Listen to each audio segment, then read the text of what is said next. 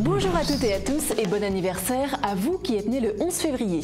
Le soleil est en verso. Voyons tout de suite ce que les astres vous réservent aujourd'hui. If you want to delight, you have to follow the rules.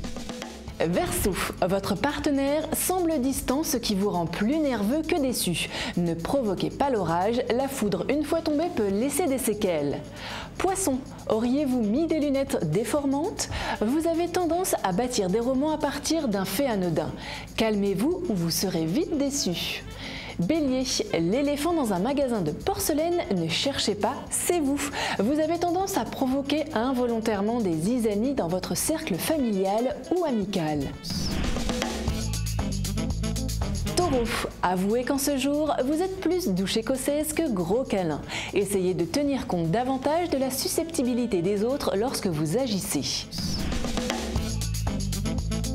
Gémeaux, vous êtes les chouchous des planètes aujourd'hui. Vous êtes spontané et pourtant précis. Vous conjuguez au travail efficacité et bonne humeur. Cancer, vous manquez de bonne volonté, surtout dans le secteur relationnel. Inhibé, vous n'avez pas l'esprit de répartie. Vous laissez les bons mots aux autres. If you want to delight, you have to follow the rules.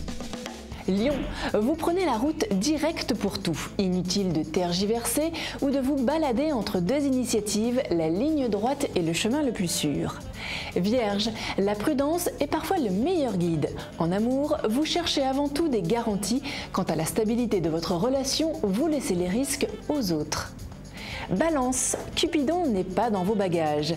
Vous doutez de vous-même, de vos capacités à séduire et en famille, vous vous sentez incompris.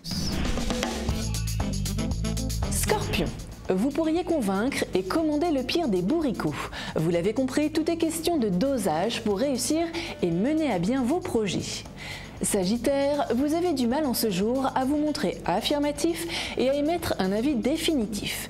Cette attitude ne plaît guère à tout le monde, surtout dans le milieu professionnel. Capricorne, vous n'avez pas de mauvaises intentions, vous voulez juste que les choses bougent. Le problème est votre manière un peu trop brutale de faire passer le message. L'horoscope c'est fini, je vous retrouve demain pour de nouvelles prévisions.